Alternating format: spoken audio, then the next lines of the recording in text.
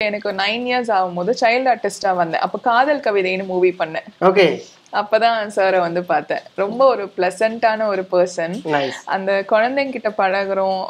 அஹ் எவ்வளவு ஸ்வீட்டா இருக்கும்னா அவரு அவர் ஃபர்ஸ்ட் டைம் என்ன பண்ணிட்டு இருந்தாரு? ஸ்மோக் பண்ணிட்டு இருந்தாரு. கதவு கிட்ட நின்னு பிரசாந்த் சார் நான் வந்து காதல் கவிதையில அகத்தியன் சார் தான் வந்து டைரக்டர் அவர் வந்து பாப்பா இந்த மாதிரி எல்லாம் நடிக்கணும் அப்படின்னு சொன்னா அந்த மாதிரி நடிச்சிட்டு இருந்தேன். இவர் ஸ்மோக் பண்ணிட்டே என்ன பார்த்துட்டு இருந்தாரு.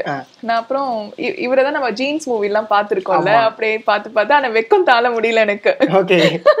நான் நடிக்கிறேன் வைக்கப்படுறேன் எல்லாம் பண்ணிட்டு இருந்தேன். உடனே அவர் வந்து கிட்ட வான்னு சொன்னாரு.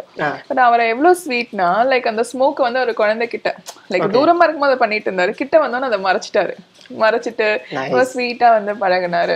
இன்ஃபேக்ட் வந்து எங்க வீட்ல போட்டோஸ் எல்லாம் அவரு அவரது இருக்கும். ஓகே. லைக் தூக்கி வச்சிருக்க மாதிரி அப்படின்லாம். ரொம்ப நல்லா இருக்கும் அவருக்கு